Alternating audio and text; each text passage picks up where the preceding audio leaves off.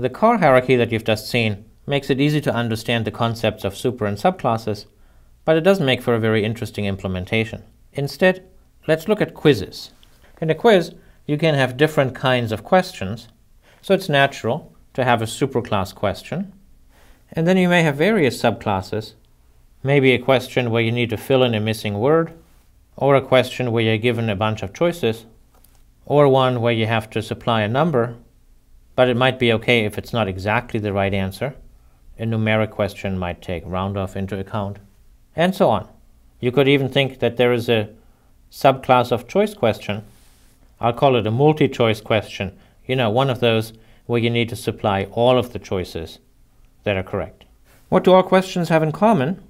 They all need to be able to display themselves, and the display may be as simple as showing the question text, or it might have to have a list of choices, or an underscore at the right place for filling in a word.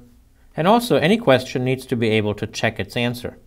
That might be a string comparison, or a number comparison that's, or a number comparison up to some accuracy. So the idea is that the superclass question will give reasonable implementations of these methods, and the subclasses can modify them if they don't work for the context of the subclass. I've implemented the question class for you, and here is a programming problem that's designed to make you familiar with that class so that you can form subclasses as we go, go along. Here's the question class. Have a look at its methods as you answer the next programming question. And here is a demo program in which I want you to fill in some details. Make a question object, and then there is a method present question that displays a question, gets the user response, checks whether was correct. There are methods for displaying and for checking a response, and I want you to look them up and call them.